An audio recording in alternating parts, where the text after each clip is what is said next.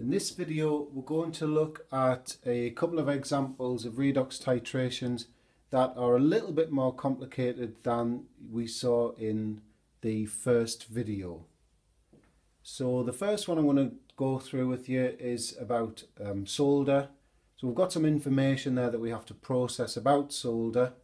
So we're told that it contains those three metals, antimony, lead and tin. And when it's reacted with the aqueous acid, the solder will dissolve. So the metals dissolve to form those three ions, Sb3 plus, Pb2 plus and Sn2 plus.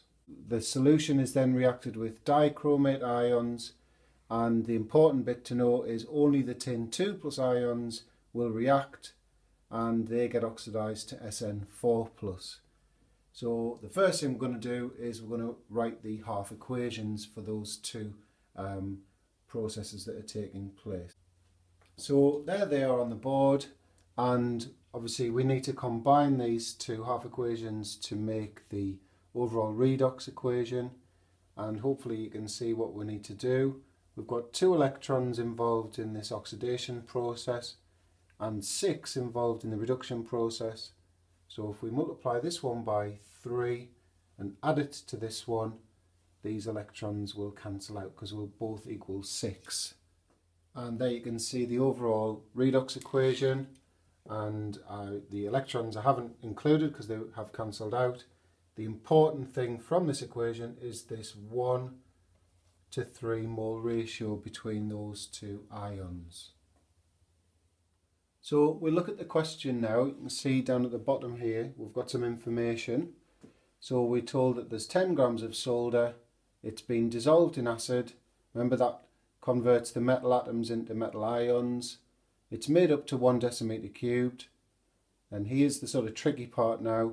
25 cm cubed of that solution was, was taken out and needed 20 centimeters cubed of this concentration of acidified potassium dichromate 6 and we have to calculate the percentage by mass of tin in the solder. So like I did in the first video, we're going to visualize, try and visualize what's gone on in this experiment and hopefully that'll help us um, see a way through to the answer. And there it is as a series of pictures. So we've got our 10 grams of solder in this flask. The acid's poured in. That converts the, the metal atoms in the solder to the metal ions as was as we were told in the information at the start. And obviously we've got some H plus ions in there from the acid. That's made up to one decimeter cubed. And then here's the tricky part. 25 cm cubed of that's taken out. So we've still got all of those four ions present and it's going to be titrated with this 0.0175 moles per decimeter cubed um, acidified potassium dichromate solution and we were told that 20 cm cubed was needed. So the first thing we're going to do is calculate the moles of dichromate ions used in the titration because we have all the information that we need to do that. So there's the concentration. Concentration times volume in decimeters cubed gives us the moles.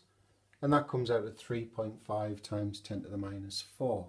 The mole ratio in the redox equation tells us that to work out the moles of tin 2 plus, we need to multiply the moles of dichromate by 3. So that's what I've done down there. And you can see the moles of tin 2 plus are 1.05 times 10 to the minus 3. And now for the tricky part. So we know that the moles of tin 2 plus in the conical flask used in the titration, in that 25 cm cubed in other words, was this many. But in the original um, solution, there must have been 40 times that amount because to turn 25 into 1000 cm cubed, you multiply by 40. So we do the same with the moles and we get the moles of tin 2 plus in here comes out at 0.042. Where did those tin 2 plus ions come from? They came from the solder, the tin atoms in the solder when that reacted with this aqueous acid and for every mole of, of tin you get the same number of moles of tin 2 plus So if that was the number of moles of tin 2 plus in here, then they came from the solder. That means that there must be the same number of moles of tin in the solder itself. We're now going to convert this to grams of tin.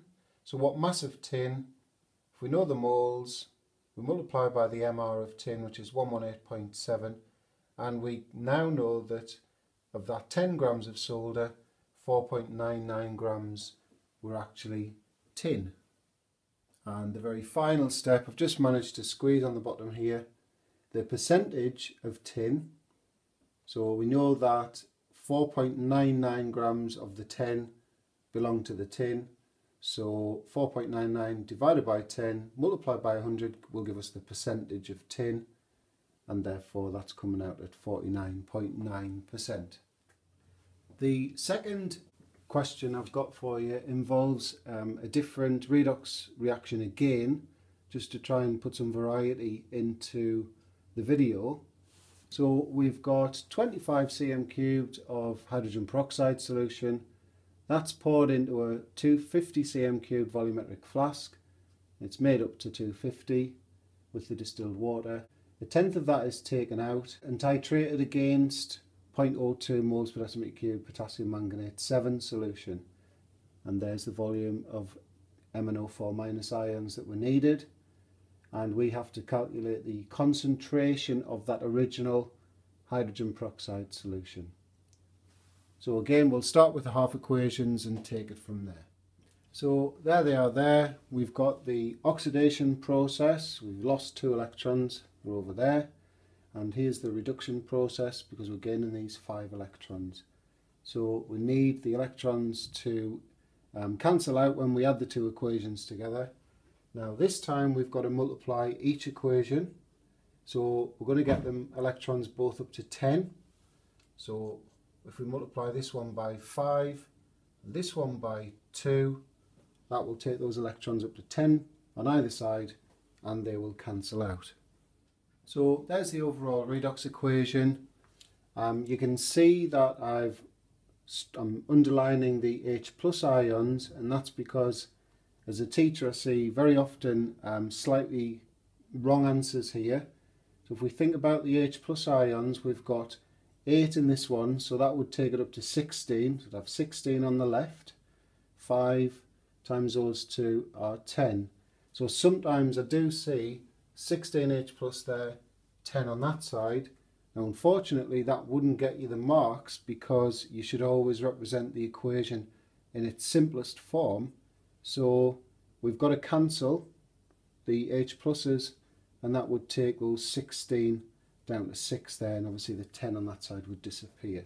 So just be careful when you see the same species either side of the arrow, make sure that you cancel them down.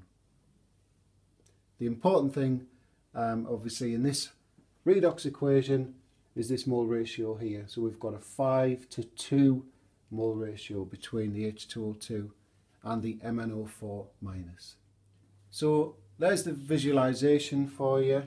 So we've got our original 25 cm cubed of hydrogen peroxide solution. So that's in this flask. That's what we've got to calculate the concentration of at the very end of the calculation. It's topped up to 250 cm cubed with this distilled water.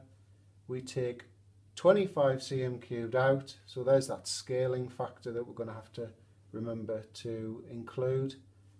And some acid is added to create the acid conditions required for the redox reaction. And the titration involves this 0.02 moles per decimeter cubed um, KMNO4 solution and we were told that we needed 38 centimeters cubed um, for the reaction.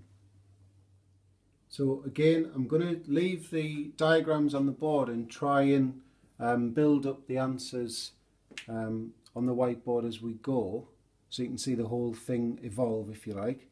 So the first thing we're going to calculate are the moles of MnO4 minus used in the titration. So that's the concentration times the volume in decimeters cubed and that comes out at 7.6 times 10 to the minus 4. And we use the mole ratio in the redox equation to calculate the moles of hydrogen peroxide present in this flask. So that's 5 over 2, look at the ratio, 5 to 2, times the moles of MnO4 minus ions, and that comes out at 1.9 times 10 to the minus 3. And now we've got to factor in this, this scaling amount. So remember, these, these moles here are the moles in the 25 that was used in the titration, but the original solution, this solution here, is actually 10 times that. So the moles of H2O2 in there is obviously 10 times the moles in, in here. So that comes out at 1.9 times 10 to the minus 2. The next part of the calculation can sometimes cause problems. So you can see I've written up here the moles of hydrogen peroxide in the original solution is also 1.9 times 10 to the minus 2.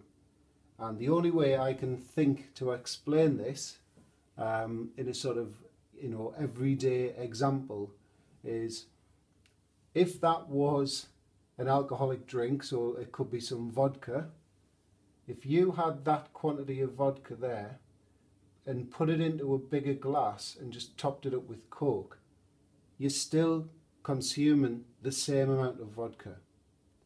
So the moles in here are the same as the moles in there. So now we know that the moles are the same as what we've got here. We know the volume, this is 25 cm cubed of, and there's this many moles present.